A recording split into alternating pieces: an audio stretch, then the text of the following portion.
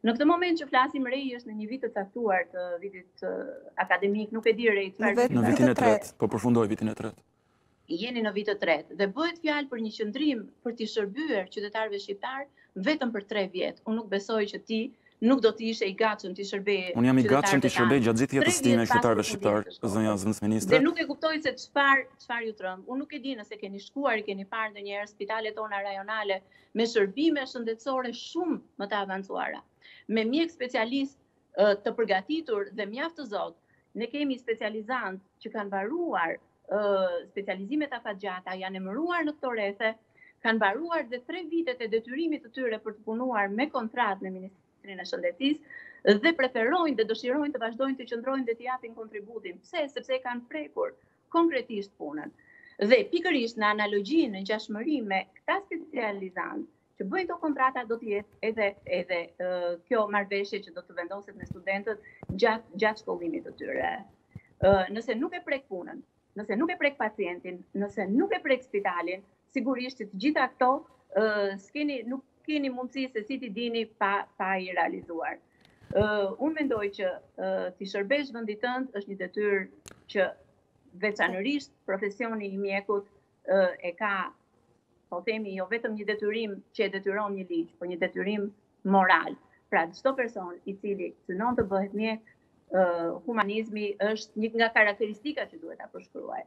Unë zonja zëvendësministre. Duhet ta prekësh punën që të thuash pastaj më dhunohet mjeku, s'ka kushte mjeku, nuk ka janë është transformim i plotë i spitaleve në vitet e fundit. Po. Veç diçka për t'ju përgjigjur zonja zëvendësministre. Unë nuk dua t'i shërbej qytetarëve shqiptarë as për 3 as për 5, po dua t'u shërbej për gjithë jetën, sepse ndaj dhe iu futa kësaj dege, sepse në qoftë se do doja të largohesha, mund të isha larguar në dhjetë forma të ndryshme.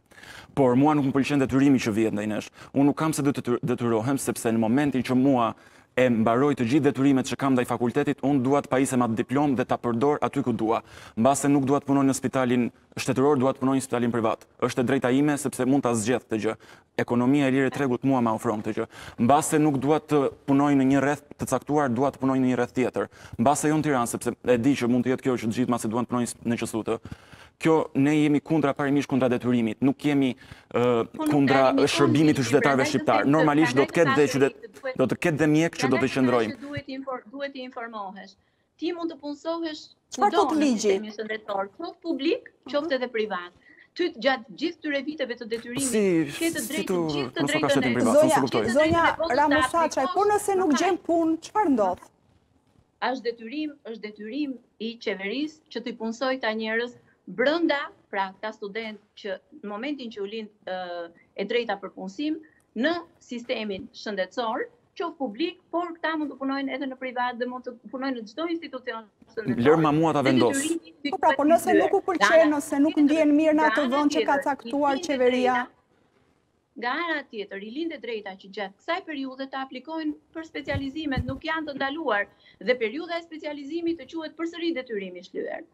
Dhe pikërisht kjo periudhë 5 vjeçare, mbas përfundimit të shkollës, është vendosur për ata që ende nuk kanë filluar të aplikojnë dhe nuk i janë nënshtruar ende konkursit.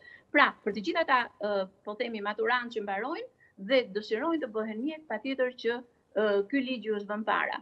Po, kam veç dy pyetje tani për zonjën zëvendësministre. Vitet më të larta ky detyrim është më i shkurtër. Ja, vetëm kisha unë vetëm një pyetje unë. Vjet dhe për dy vitet e fundit është vetëm dy vjet. Mirë, zonja zonja zëvendësministre më tha që ka qeveria për detyrë që të gjejë një punë. apo jo? Po, patjetër. Por, por në rast se këtij studenti nuk i pëlqen kjo punë, nuk ndihet mirë në këtë punë që është caktuar, a nuk nënkuptohet si detyrim? Jo, nuk është detyrim, sepse studenti do të aplikojnë në një portal që është një portal transparent për punësim. Patjetër që në momentin që aplikon në portalin Mjekë për Shqipërinë, do t'i ofrohet edhe punësimi.